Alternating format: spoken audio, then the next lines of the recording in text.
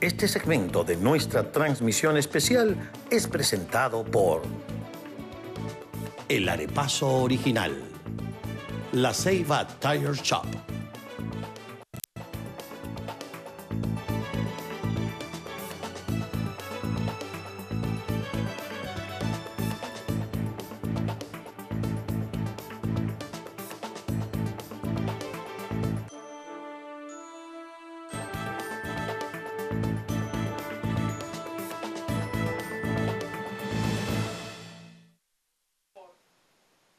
Un minutos después de la hora, vamos a conversar con un personaje que me ha acompañado mucho tiempo en este oficio y que tenemos tiempo que no conversamos.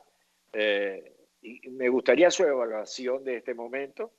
Me refiero a la periodista Sheina Shang, eh, conocida como la China Chan. Sheina. ¿Qué tal, ciudadano? ¿Cómo está? Buenas tardes. Tiempo sin hablarnos eh, por este medio, pero todos los días tenemos una buena conversación y echamos nuestro chismecito. Eso es. Mire, ¿qué le, ¿qué le cuento de cómo veo este panorama? La primera palabra que se me viene a la mente es un tema de, de preocupación. Realmente mm, siento que los venezolanos siempre estamos dando un mensaje equivocado de la situación que vivimos en nuestro país. Para la comunidad internacional para los propios venezolanos que están dentro de Venezuela. Eh, si no es el régimen, es eh, los factores democráticos que están eh, haciendo acciones que confunden a todo el mundo y uno tiene que desviarse del norte, desviarse del punto que es sacar a la dictadura de Venezuela para tratar de entender y digerir qué es lo que está ocurriendo en nuestro país. Así sea por un show montado por eh, el, régimen de Nicolás Maduro que está intentando desviar la atención de los verdaderos problemas de los venezolanos, o así sea porque dentro de los factores democráticos siempre hay alguien que quiere un poco más de protagonismo y actúa por la libre y por la cuenta. Y por otro lado, me preocupa también el tema de quizás lo deficiente que se puede ver la parte comunicacional del presidente encargado Juan Guaidó, porque a lo mejor las respuestas que dan son las eh, acertadas, pero son a destiempo. Y eso confunde un poco más el panorama. ¿Y cómo queda al final de la historia lo que está ocurriendo en Venezuela? Bueno, queda más desgaste de la población, queda una, una, sociedad totalmente desmoralizada y una persona y una sociedad que no tiene moral, pues es muy difícil que pueda seguir teniendo ánimo para luchar y para luchar en colectivo, que es realmente lo que se necesita en este momento. Porque ahorita el venezolano está intentando luchar de manera individual buscando la comida, buscando la gasolina, tratando de subsistir en cualquiera de los niveles, desde los más pobres hasta los que todavía tienen un poco de poder adquisitivo y tratan de sobrevivir en esta, en esta guerra y en este país tan difícil de descifrar. Es correcto, Sheina, cuando muchas veces eh, nosotros cuando estábamos elaborando los programas de hace muchos años, que se decía, el audio tiene que ir con el video.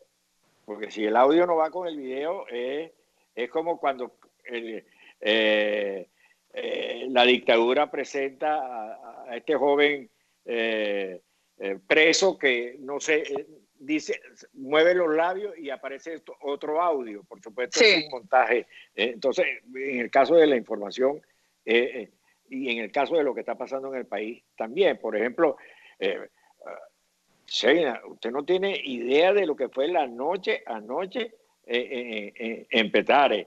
Eh, a pesar de que estoy aquí, yo no, a cada rato mandándome mensajes, el tiroteo, eh, eh, las páginas web sacando cómo llegaban las patrullas en, la madrugada. Metiéndose en las casas de las personas que no estaban. ¿ah? ¿Con cuál tipo de autoridad? o sea, los vecinos y hoy continúan en la colonia Tobar haciendo eso. Sí, correcto. de hecho, se llevaron a un ex concejal de Primero Justicia detenido hace algunas horas y lo están denunciando, porque siempre quieren buscar a, alguien a quien, eh, de la oposición, a quien responsabilizar por todo lo que está pasando. El chivo expiatorio. Pero en el fondo, en el fondo, eh, la tragedia, y, y, y además vienen ahora con este show, porque este es otro show. Este, saben bien que JJ Rendón no vive allá y no lo van a poner preso. Y saben muy bien que, tampoco está. El que vive allá y está allá es, es el presidente eh, Guaidó. ¿Por qué no hacen nada? Porque saben que no pueden actuar. Lo único que dijo Tarek eh, Saab el día de hoy es que iba a pedir una orden de captura para Juan Guaidó, pero eso lo ha dicho en millones de oportunidades. Nicolás Maduro desvía el tema cuando se le preguntan. Diosdado Cabello lo único que hace es amedrentar a Guaidó, a toda la oposición, a todos los periodistas, a todo el mundo. Es, es la política del terror y del miedo. Y de eso no están pendientes los venezolanos. Los venezolanos tienen otra realidad. Están tratando de sobrevivir en un país que está totalmente desmonorado. Y otra situación que hay que tomar en cuenta es la que viene ahora en lo social. Todos esos venezolanos que salieron de Venezuela por la frontera a pie, que muchos perdieron la vida en ese trayecto, en esa peregrinación y ahora están regresando a Venezuela. A mí me preguntan, ¿para qué un venezolano regresa a Venezuela si se fue y no ha cambiado nada en Venezuela? La situación está peor. Bueno, porque eh, a veces algunos prefieren estar pasándola mal en su propia casa, bajo sus cuatro paredes, pero eso es un problema que también se va a convertir ahora en Venezuela en algo mucho más grande, más, más, complicado para el régimen y también para la oposición, porque no hay oportunidad. Y la consecuencia de la pandemia que va a afectar, tiene su consecuencia económica. Eh, ya vemos la cantidad de, de gente que supuestamente ha perdido ya su trabajo, eh, estamos al borde de una recesión económica mundial. Además, el tema económico en Venezuela, ciudadano, era un tema que ya estaba valorado eh, como que si hubiese pasado una pandemia en los últimos cuatro años y estuviese allí continuando. Las empresas del sector privado han desaparecido, las inversiones extranjeras están desaparecidas, la producción nacional está desaparecida. Entonces, con todo ese panorama, que ya las cifras estaban en rojo y en negativo, viene una pandemia, no hay ningún tipo de posibilidades que esto pueda cambiar ni pueda mantenerse siquiera, porque en otros países han recibido la ayuda y la atención económica por parte del gobierno, así sea chiquita, pero la están recibiendo. En Venezuela, ¿qué tipo de ayuda le puede dar el gobierno al sector privado, por ejemplo, para que mantenga una fábrica de calzado o una fábrica de alimentos? Cuando lo que hacen es expropiar llevarse todo por la fuerza y ni siquiera lo mantienen, lo que expropian.